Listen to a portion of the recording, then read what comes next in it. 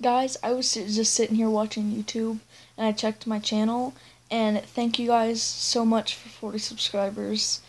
If I get to 50 or when I get to 50 because you guys are so amazing.